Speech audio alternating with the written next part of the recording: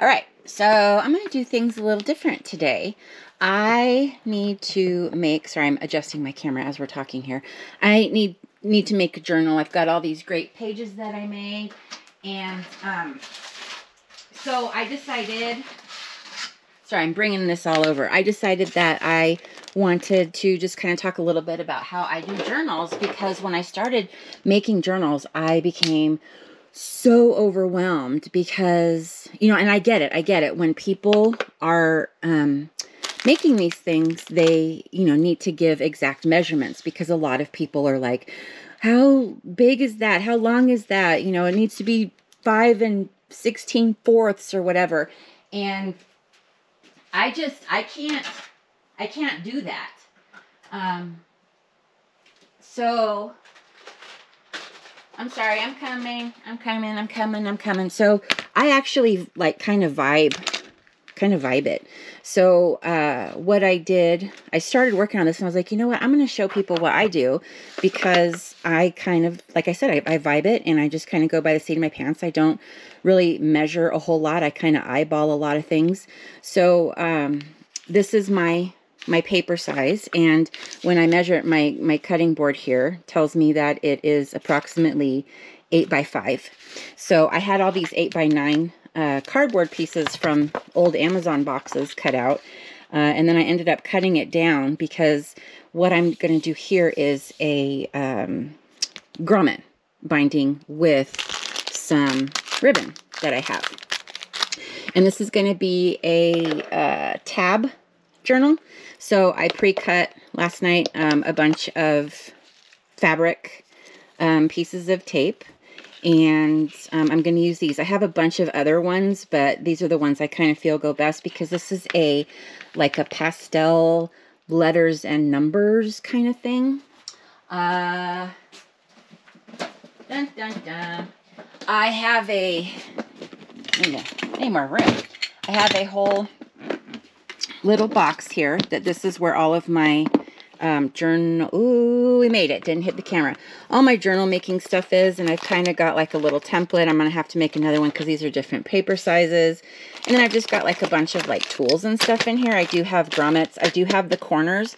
I am horrible, horrible, horrible at folding the corners on these things. So I bought these corners on Amazon. I'll link to them. These actually are the bigger ones that I found. And I had to buy multiples because I learned the hard way when I first started making these that there's not enough um, corners to do a full journal. So, uh, and then I've got my grommets and I've got hole punches and all kinds of stuff in here. Um, but again, this is all I need. Oh, I bought these little fun things. Like they're these little, here, I will show you. Wait, hold on. Oh, here they are. I thought I thought these were kind of fun. So I bought these little three hole binders and then I just make like these little little pocket ones. Um, I don't know what for, but I, I just, I wanted to make them. So I did. And um, so yeah, everything is in here. You don't need a whole ton of stuff. I don't use most of these tools, but um, a lot of these are for like, you know, crimping the um, corners and stuff like that. Um, yeah, so I do need these tools, the Fiskars things. I'm going to do it, and they're a little scary when you watch it, but um, this this thing is freaking awesome. So I will I will link to that guy. Oh, I already have a glue thing, but I brought another one. These are um, magnetic strip. Some of the uh, journals that, well, actually, okay, so one. I haven't really made a lot of journals, but uh, I use this as a magnetic closure. Hold on, I'll go get it.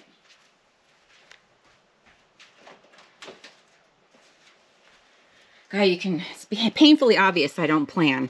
So this is a, it's a magnetic closure. And inside here, there are actually three levels of um, the closure because I thought, well, I would love to sell this. And it is on my Etsy store, so I will sell this.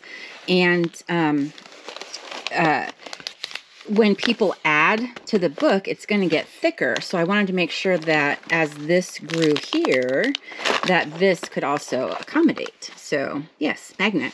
And gosh, my camera seems like super close. I'm going to like reset some crap and then um, I'll be right back. So I'm going to go ahead and start um, showing you how I do things. By the way, these are like the most dangerous um, weapons of all time.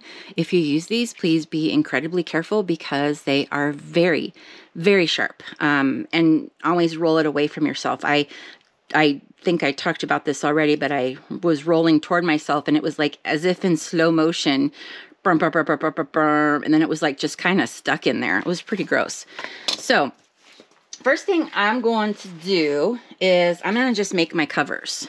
So I measured, all right. Also within my box, I've got like this cardboard that's kind of um, taped together because of these guys, the strongest thing ever in the history of strong things.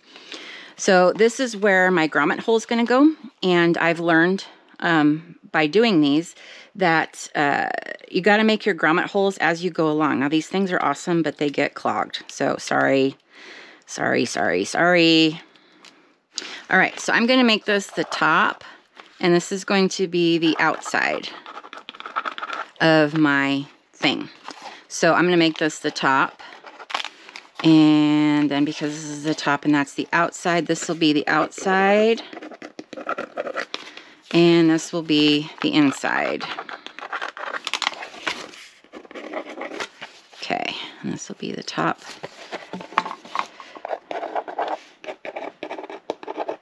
Actually, I'm going to also put an L on here so I know this is the cover. I can just write cover. You can do whatever you want on here. Cover, whatever makes sense to you. And this would be back. The reason why I have found this is important is because of this blooming grommet hole. If you make the grommet hole and then somehow this gets changed around, they don't match up. And I don't know why. Physics. Someone can probably answer the question, but whatever. Um, and then also, these things are so bloom and powerful that I do it on top of a cardboard wrapped up because I don't, you probably can't see it, but there are holes in my self-healing mat because this little guy is really strong.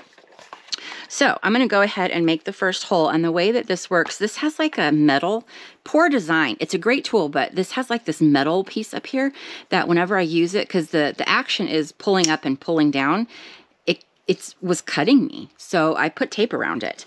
Um, this is a 3 16th hole, which is um, a standard size hole, uh, hole punch size. So I'm going to go ahead and just pull it up. Bam! I'm to do it a couple times. And it starts going through. So here, I need to do it one more time. Now, it doesn't matter if this kind of gets cracked open a little because I'm to be using a grommet. So there's the hole not perfect. So this is the back cover inside top. Top inside cover goes to back inside cover.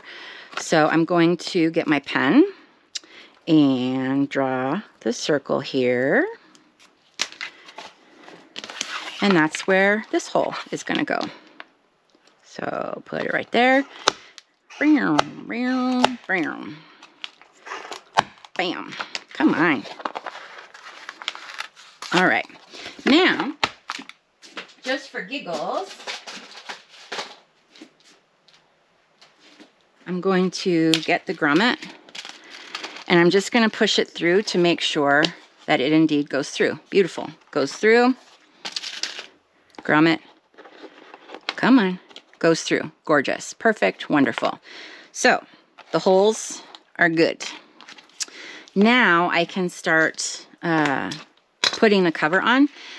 So because this is a tab binder, I'm just going to put the outside cover on first, not the inside cover. And I'll tell you what that means, you know, as we as we go.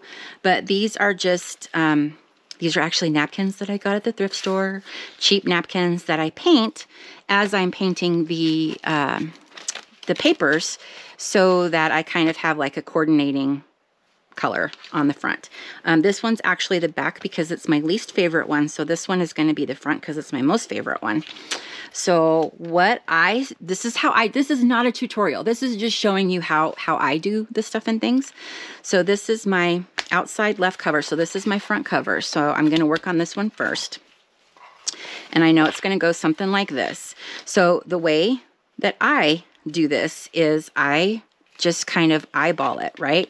So, oh gosh, I know this There, this is this is different for a lot, but I'm just showing you you can be loosey goosey. So I cut off the um, edges first because I know that these edges are not going to be a part of my piece because they make it too bulky. So I'm cutting off the edges first. Get this paper out of the way. And again, I don't really, I don't measure. I don't care if it's straight. I don't, I, because it's going to be glued on anyway. So then I kind of uh, will flip it. And I save these little guys because when I run out of the fabric tape, I figure I can use these guys as some kind of fabric tape, right? Just use some glue. So I save them. Okay, so this is the outside cover. This is where the hole is going to be. I'm going to kind of take a look and figure out what I think. Like, okay, maybe, maybe I want a little bit more yellow. So I think that is what my outside cover is going to be. Awesome. Flip it back over. And because this is where I had it laid, I'm going to mark it because I will inevitably lose my spot. All right. Now I'm going to take a little bit off the top because I, I know I don't need this much. You only need about an inch or so to wrap down.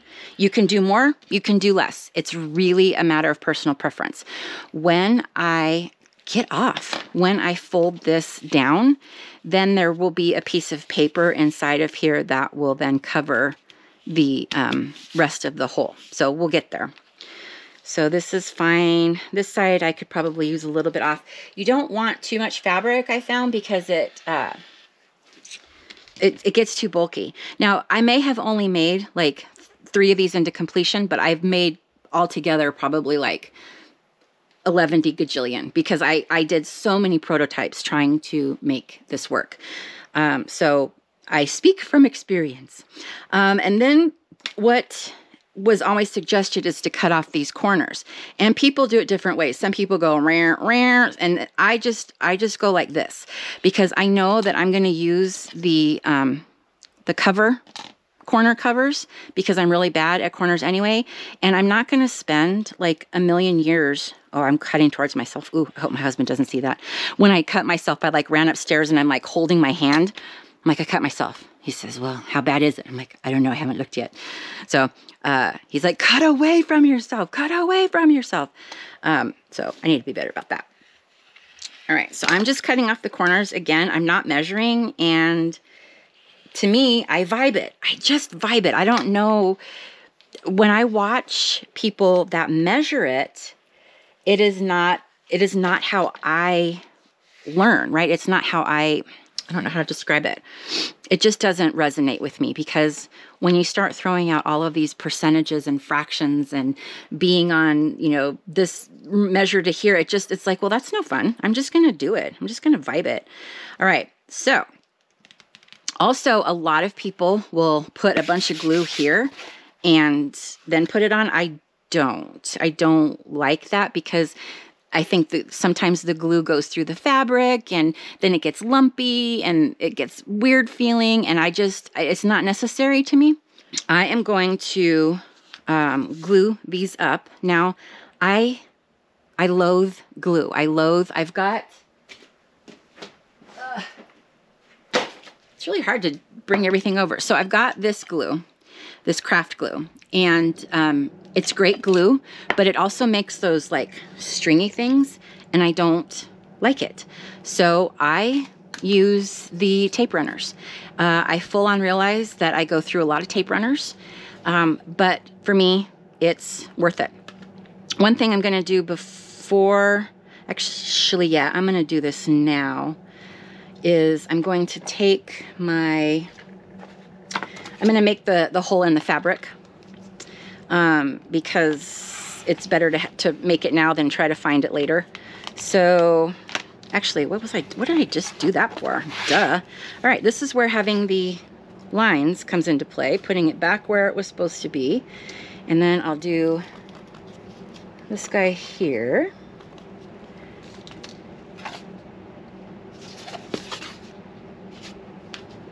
Make sure you fit there. That's good. All right, And then, even if it's not perfect, at least it's giving you a spot to start. Because if you put this cover on, it's kind of hard to find the hole underneath. So this goes through paper, or excuse me, fabric as well. This kind of goes through like, oh, everything. Oh, did I break it? No, okay. I didn't break it. I think this is a new cardboard piece I'm using behind and I think it's too thick. So I'm gonna get a different piece of cardboard. I think I was a bit too, uh, went with a bit too much gusto. It's not needed to be that thick. There we go. See, it wasn't cutting through because it didn't have, oh, see, made a hole. These little suckers are really strong. and surprisingly hard to find. It was, it was surprisingly difficult to find. Okay, cover top outside. Okay, so it is this way. All right. Doobie, doobie doo. Put it back in my corner areas. So I've got the hole in the front. I hope I did it correctly. And now we're going to start just covering it. So I will usually put a, um, I will run the glue. This is a permanent glue runner. So it's a little bit different than like the glue runners you might use for scrapbooking or whatnot. It's permanent glue. Um, these are granted a bit more expensive, but to me it's worth it to not have the flippin' mess. So do I always do top bottom and then I bring in the sides. So this is just me. I will do the edge here and then I will bring it up nice and taut needs to be taut. And this to me is like probably too much um, fabric, so I'm just gonna cut it down a little bit. I don't need all that fabric there causing bulk. Do do. Do do do do. And then I'll put a little bit on this piece here. Okay. Again, paint right here Get this going in. I want to be careful not that my fabric doesn't go over the back of this little guy. So I'm going to cut just a little bit more off here.